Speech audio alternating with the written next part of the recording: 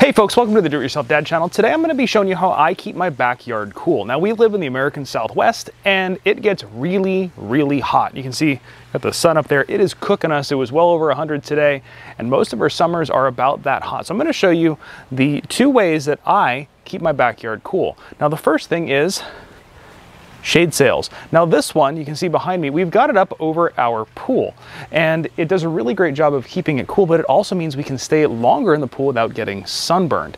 Now I've got a whole video on how I put these shade sails up. Over on the other side of my yard, I actually have a koi pond and uh, I had the same problems with that where the water temperature was getting too high in this thing. So I put shade sails up over that.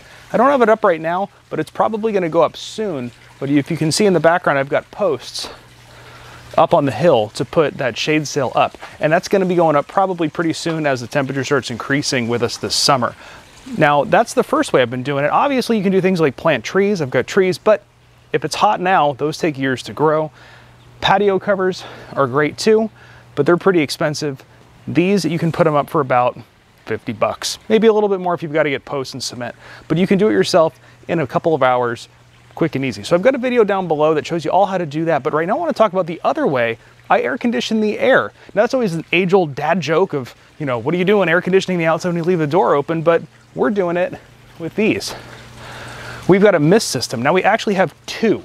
We have a mist system here that's hardline with PVC, and I've got another one that goes above the yard that's a flexible line and I have it running up there with paracord. Now there are obviously different ways to install these. And this is a more basic system, but it's something you can do real quick in a couple hours, probably less time than that on a weekend. So I'm gonna show you real quick how these systems work and what's involved in maintaining them. It's not too hard. It might be something you wanna check out. So let me show you the one that's over the grass first. Now the nice thing is both systems use the same emitter heads here. These are brass and it is a flexible line and I've got it running across the yard. I wanted it over the grass. I keep calling this grass, but it's plastic. This is artificial grass and it does get really hot in the summertime. So having this over it keeps the air cool, but it also keeps the grass pretty cool as well. Now, what's great with these is if you've got kind of a strange installation situation here, or if you're trying to run it underneath the eaves of your house like this, this gives you a lot of flexibility because you can run the line all over the place and you can string it across gaps like this using a little bit of cord. The operation of these is also really simple. It's just a, a hose line that connects into your hose bib. So if you flip this on, all of the misters start running. Something to think about when you're installing one of these is where you're putting it in the yard. If you have a backyard where there's a constant breeze going in one direction, um, and you might want to check, kind of pay attention over the course of a couple days how the breeze blows, you want it to blow into your yard. If you're doing this and it's just blowing into the neighbor's yard or often in the middle of nowhere, it's not going to do you any good. So pay attention to where it is and that'll determine where you want to install it. Now, something else to think about is where you live. If you're in a hot, dry climate, American Southwest, desert, something like that, this is gonna work really well because it works on evaporative cooling and it really does a good job taking the bite out of the air. However, if your air is already humid, because you live in a place like Florida or Georgia or something like this, this is not the kind of system you want to go with. It's really not going to do you any good. It's just going to make it more humid and more miserable. Now, most of these systems you can pick up at your local hardware store, but I also have links for them down below if you want to check them out online and get them delivered straight to your house. Now, coming over to my patio cover, this is the first system I installed in my backyard. This is actually hard lined in with PVC. Now, you can see here it uses the exact same brass heads, which is really nice and convenient. And when you buy these kits, generally they don't come with the lengths of PVC pipe, but they will come with these fittings that have a little threaded connector and you can screw the head into it. Now these work pretty much the same way. I've got it hooked to my hose bib. You give it a quarter turn and your water's running. Now when you're using the PVC pipe one, a handy little extra are these. These are, have a little brass thread on one side and the little spray nozzle on the other side, and it allows you to turn them and get them going in different directions depending upon what you need. One other thing that all these systems are gonna have is this. This is a drain. So when you shut the system off, and the pressure is relieved, there's a little valve in here that opens up and it drains all the excess water out of it. And that is really important. Let me tell you why. And that is because bacteria loves damp, hot places. And that's what those lines are when you're not using them. So um, it can actually build up gunk inside there. And I've actually seen recently there's been some press releases about Legionnaire's disease.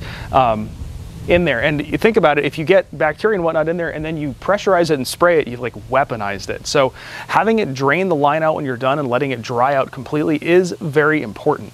Um, now, let's talk about maintenance and what's involved in maintaining one of these systems. Now, going down the line, sometimes I've noticed that these things do clog up, and they clog up for a couple reasons. If you've got stuff in your water supply, it can clog up the ends, but you really shouldn't. But what re really happens more often than that is probably what's going on with this one. This one probably has some calcium deposits, you know, hard water deposits in the end of it. Sometimes I can get over to them just with a fingernail. You can almost, I don't know if you can hear it. There we go you can clear the deposit because usually it's right on the outside. But you do have to clean these heads. So let's see how we do that. Now just now when I fired up the system, I noticed that this head was not really working correctly. So we're gonna take it off. And these things, you just unscrew them with your hands, which is nice. Since I just shut it off, there is a little bit of water in the line. And there was one over here as well that was also not flowing. So we're gonna take this one off as well. And I'll show you how we clean these. So now we're in the garage, I'm gonna show you two ways to clean these nozzles. I'd love to say that my workbench usually doesn't look like this, but I'd be lying. It's usually worse. You can actually see the top of it, which is something of a miracle. Now, while I'm in here, I do want to mention one thing. It's over 100 degrees outside right now, and I'm in my garage, and it's comfortable. And that's because I did a bunch of stuff to make the garage more comfortable. If you're dealing with the heat in your backyard, you're probably dealing with your garage right now too. And I've got a couple videos showing all the things we did to make this garage more comfortable, including uh, flaps on the vents, insulating the garage door, sealing, installing air conditioning, and whatnot. So check out those. They're going to be linked down below as well if it's something something that you're dealing with because we certainly are here. But let me show you how we clean these. Now, how I clean mine is with this. This is a ultrasonic cleaner. You just take these things, throw them in the cleaning solution, which is water with a little bit of a, uh, basically it's almost like a soap or detergent you put in there, and turn it on. And it makes a very, very high pitch vibration that helps break up the surface tension in there. Science happens, blah, blah, blah, blah, blah, and they get clean. These things are great. You don't need one. I'm going to show you another way to do it in just a second, but I've cleaned gun parts, carburetors, car parts, all sorts of stuff in this thing over the years. So they're not that much. I've got a link down in the description if you want to check them out, but you don't need it. I'm going to show you the other way you can clean them, which is real quick and easy. And that's with white vinegar. Just a little bit of white vinegar, throw them in there, let them sit an hour, you'll be good to go. That's really all you need to do to clean these things. I do like this. It's pretty quick, you know, five minutes and I'm done versus an hour with white vinegar, but white vinegar is free or almost free because you probably already have some in your kitchen. So that's how we clean them. We let them soak in there, dry them off, and then reinstall them and you are good to go. Now I hope this video helped you out. I hope it's gonna help you make your backyard a little bit more comfortable and a little bit more enjoyable so you can get some more usage out of it this summer. Now please hit that subscribe button down below like I mentioned before. It really does help us out. Give this video a thumbs up if you got something from it and leave me a comment down below. Let me know what kind of stuff around the house that you're working on or if you want any tips, tricks, or anything like that, here to help you out. But right now, it is hot. So thanks for watching. I'm gonna go for a dip in the pool.